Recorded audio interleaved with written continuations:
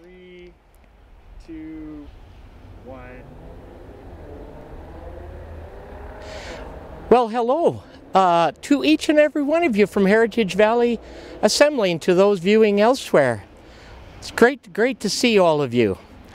Well, what a joy it is for me to be standing here in front of Taylor uh, Seminary, home of our, our precious uh, church, Heritage Valley Assembly. And today, along with the two church-wide communiques that we sent and shared on Saturday and Tuesday, I'm pleased to announce that we will be resuming in-person on-site gatherings beginning Sunday, March the 7th, Sunday, March the 7th at 10.30 a.m. Mountain Standard Time.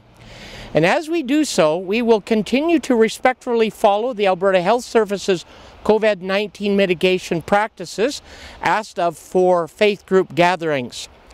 If you plan to attend, my dear friends, our in-person on-site Sunday worship services, we would kindly ask you to observe the following. First, please register with Janice at our church office at heritageva at gmail.com. Let me say it again, heritageva at gmail.com or call 780 699 6315. The reason for that is that we're still functioning under the government cap, which means that we're only able to accommodate per gathering 15% of our fire code. And so this will enable us to ensure that we, we follow that guideline properly as we register individuals. I might just add that we are taking opportunity to, to ensure that those that have no access to online services uh, are given uh, the ability to be able to be here uh, and that's preferential treatment for them only. But don't let that hold you back. If there are others that want to attend and can attend, please do. Uh, but if you attend, not only registering is required, but number two, face masks must be worn at all times. Social distancing is required. Hand sanitation is needed as also is required. And please do not attend if you're feeling ill. If you cannot attend, and we know that there are some of you who cannot and don't feel comfortable yet at this point in time in gathering in a, in a public setting, and if that's the case, don't worry about it. We understand. When you feel comfortable, you're going to be welcome with open arms.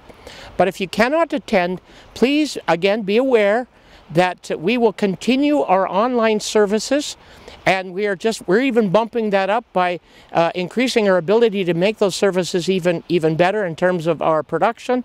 And so uh, we are just very committed to that. So if you want to go online many of you have been uh, you can access that by going to our website heritagevalley.assembly.com heritagevalley.assembly.com and uh, you can catch our Sunday morning gatherings that way as well by way of YouTube and, and Facebook.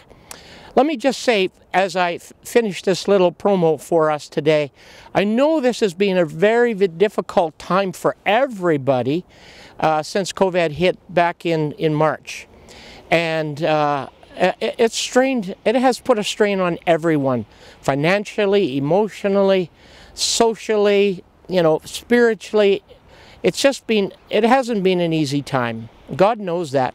But you know, as I, as a pastor, look at our church, God's used this time to grow us as a church.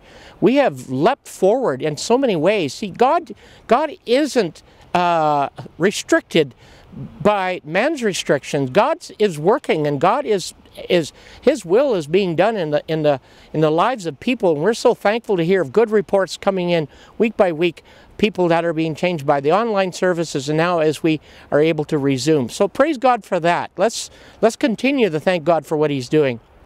But also there are some of you I know that it's just put such a strain on you. And I just came across this little saying today and I thought it was so powerful. I want to leave, with, leave it with you as we conclude. If you're hanging on by just a thread, make sure it's the hem of his garment. May God bless you. We love you all. And if you're coming on Sunday, we look forward to seeing you. And if you're joining us online, we are so honored for you to be with us. God bless you. You're the very best. And have a wonderful day.